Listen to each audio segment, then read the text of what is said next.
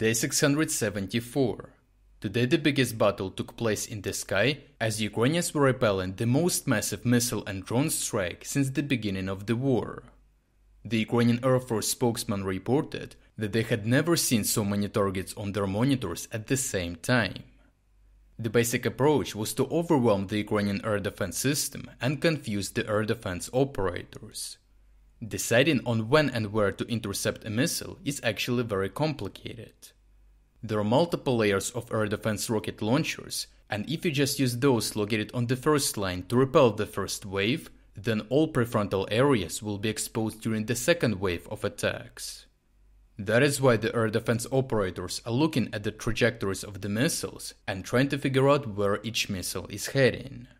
Some missiles, therefore, are allowed to pass through and are later intercepted by the air defense in the rear.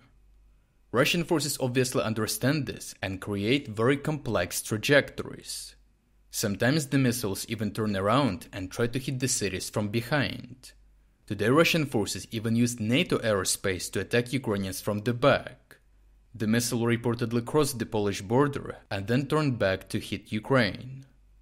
Polish officials confirmed that Russian missiles were indeed detected in their sky, however, they decided not to escalate. Moreover, some missiles are even capable of releasing false hit targets. In order to reduce Ukrainian defensive capabilities by unloading their air defense rocket launchers, the first wave of the massive strike involved a lot of drones. The drones were launched from the Berdyansk and Rostov regions and spread out as they passed the contact line.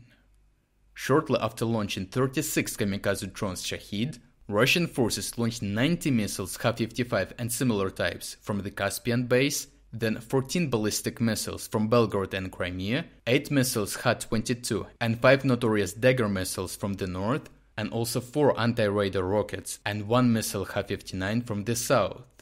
In total, there were 158 targets, more specifically 122 missiles and 36 drones.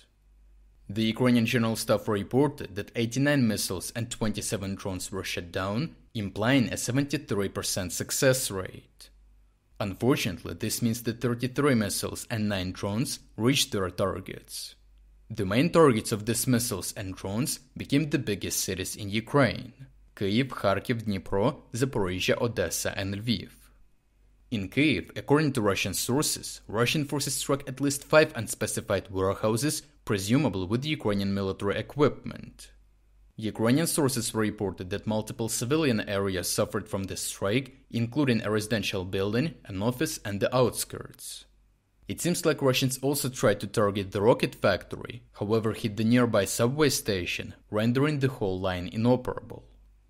In Dnipro, according to Ukrainian sources, Russian forces struck a huge shopping mall in the center of the city. Moreover, one drone or rocket hit a maternity hospital.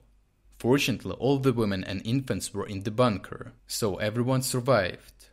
Russian sources reported that the storage facilities inside the shopping mall were used for military purposes and that other targets were areas of forces concentrations.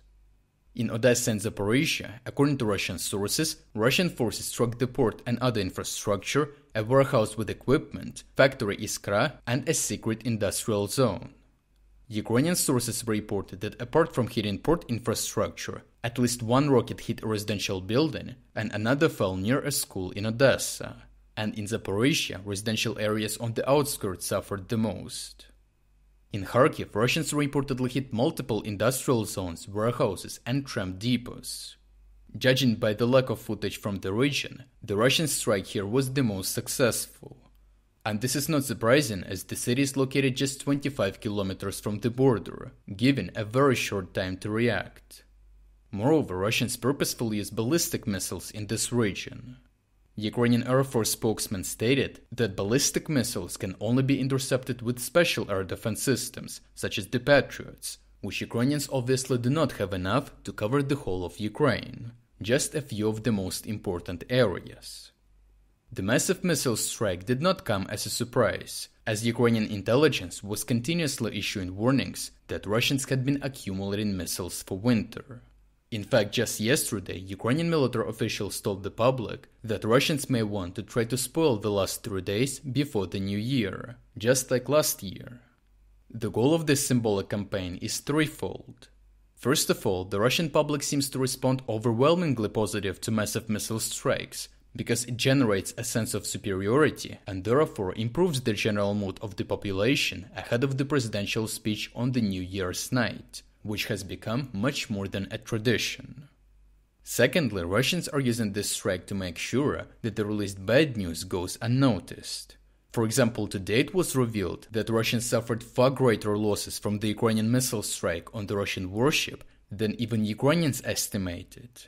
In total, Russians lost more than 100 soldiers, including conscripts who were not supposed to be there. Normally, the release of such information would lead to a huge backlash and societal discontent, but today no Russian source even mentioned that. Thirdly, by conducting constant missile strikes at this time, Russians are aiming to completely spoil the new year for Ukrainians and create social unrest that would supposedly pressure Zelensky to end the war at any cost. The Ukrainian Minister of Defense stated that we therefore should expect more strikes. Fortunately, Ukrainians were expecting such a sequence of events, and for the last half a year they have been focused on improving their air defense as much as possible. That is why today Ukrainians did not experience any blackouts or other major disruptions. Such a massive strike also served as a precedent for the Western countries to provide even more air defense systems, especially as Russian missiles were once again detected in the sky above the NATO countries, this time only Poland. So Western countries seem to be interested in ensuring that Ukraine shoots down all Russian missiles before they even get close to the NATO border. As the holiday season continues, we extended the sale on our dual flag collection. Right now, you can get them at substantial 20 to 30% discounts. If you would like to show your solidarity and support my work, now is the best time to make a purchase. I wish all of you a peaceful sky during these holidays, and I will see you in the next report.